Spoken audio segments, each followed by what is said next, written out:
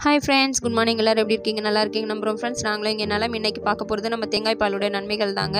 எங்கள் வீட்டில் வந்து எங்கள் ஹஸ்பண்டுக்கு பார்த்தீங்கன்னா வாயில் இது மாதிரி புண்ணாக இருந்ததுங்க. ஸோ எதனால் வந்திருக்கோன்னு சொல்லி பார்த்தீங்கன்னா இது வயிற்றில் ஏதாவது ஒரு ஒவ்வாமை இல்லை நம்ம வயிற்றில் ஏதாவது புண்ணாக இருந்திருந்தால் அது வெளியே வாய்க்கு வெளியே காமிக்கோங்க. ஸோ அதனால தான் இந்த புண்ணு வந்திருந்ததுன்னு சொல்லிட்டு எங்கள் வீட்டில் சின்னதாக இருக்கும்போது எங்கள் பாட்டிமா சொல்லி கொடுத்தாங்க. நீ அந்த டைமில் என்ன பண்ணணும்னா தேங்காயை எடுத்து உடச்சி அதில் கொஞ்சம் ஏலக்காயை தட்டி போட்டு மிக்சியில் அரைச்சிக்கோ. அரைச்சி ஃபில்டர் பண்ணி நாட்டு சக்கரை இல்லை தேனும் கலந்து குடி.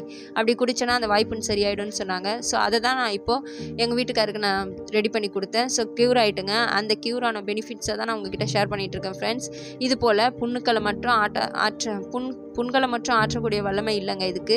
ஏகப்பட்ட வல்லமை இருக்குங்க. அது என்னலான்னு சொல்லிட்டு இப்போ நம்ம பார்ப்போமா ஃபஸ்ட்டு இந்த தேங்காவை ஃப்ரெஷ்ஷாக எடுத்து நம்ம செஞ்சால் தான் இதோடைய ஃபுல் குட் ரிசல்ட்டும் நம்மளுக்கு கிடைக்குங்க. அதாவது ஃபுல் நன்மைகளும் நம்மளுக்கு கிடைக்கும். ஏன்னா ஃப்ரிட்ஜில் வச்சு நம்ம இப்போ எல்லா பொருளையும் யூஸ் பண்ண ஆரம்பிச்சிட்டோம். அப்படி இருக்கும்போது ஃப்ரிட்ஜில் வச்சிட்டிங்கன்னா இது வந்து ஒரு கெட்டுப்போன பொருளுக்கு ஈக்குவலானது தாங்க அதோடைய நன்மைகள் முழுதும் கிடைக்காது நம்மளுக்கு. ஸோ ஃப்ரிட்ஜில் வைக்காமல் ஃப்ரெஷ்ஷாக வாங்கிட்டு வந்து அந்த தேங்காவை உடச்சி அதில் ஒரு ரெண்டு ஏலக்காவை போட்டு அரைச்சி ஃபில்ட்ரு பண்ணிக்கோங்க. அதில் நாட்டு சக்கரை கலந்து கொடுங்க. இப்படி நான் கொடுத்தங்க. க்யூர் ஆகிடுச்சு ஸோ இப்போ அதோடைய பெனிஃபிட்ஸ் என்னன்னு பார்த்தீங்கன்னா தேங்காய் பாலில் அதிகமான இரும்பு சத்து இருக்குங்க. நம்ம தாய்ப்பாலுக்கு ஈக்குவலானது தாங்க இந்த தேங்காய் பால். இதில் கால்சியம் அதிகமாக இருக்குது நம்ம லேடிஸ்க்கு நிறைய பேருக்கு முட்டி எலும்பு கால் வலி இடுப்பு எலும்பு தேஞ்சிருக்கு அப்படி சொல்கிறவங்களுக்கெல்லாம் கண்டிப்பாக அடிக்கடிக்கு இந்த தேங்காய் பால் எடுத்துக்கோங்க. ரெகுலராக எடுக்கிறனாலையும் ஒரு ப்ராப்ளமும் கிடையாது. கால்சியம் குறைபாட்டை நீக்கக்கூடிய தன்மை அதிகமாக இருக்குது இதில் பாஸ்பரஸ் அதிகமாக இருக்குங்க.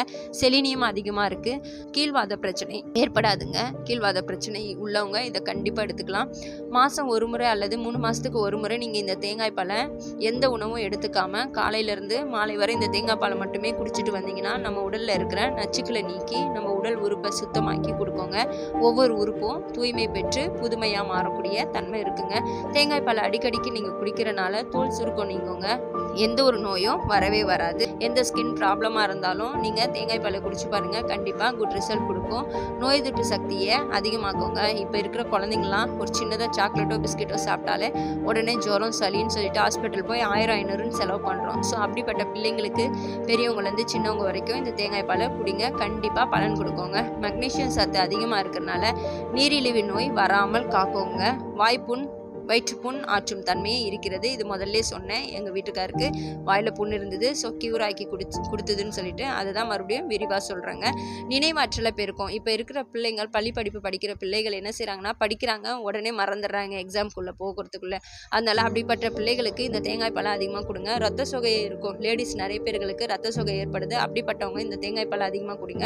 உடல் எடையை குறைக்குங்க. நிறைய பேர் உடல் எடையை குறைக்கணும்னு சொல்லிட்டு ஜிம்மு அங்கே இங்கேன்னு போகிறீங்க அப்படிலாம் போகாமல் இந்த தேங்காய் பழைய குடித்து பல அடைங்க ஃப்ரெண்ட்ஸ் இந்த வீடியோ பிடிச்சிருந்தா லைக் ஷேர் கமெண்ட் சப்ஸ்கிரைப் பண்ணுங்கள் மறுபடியும் நாளை ஒரு புதியதொரு வீடியோவில் சந்திப்போம். Bye friends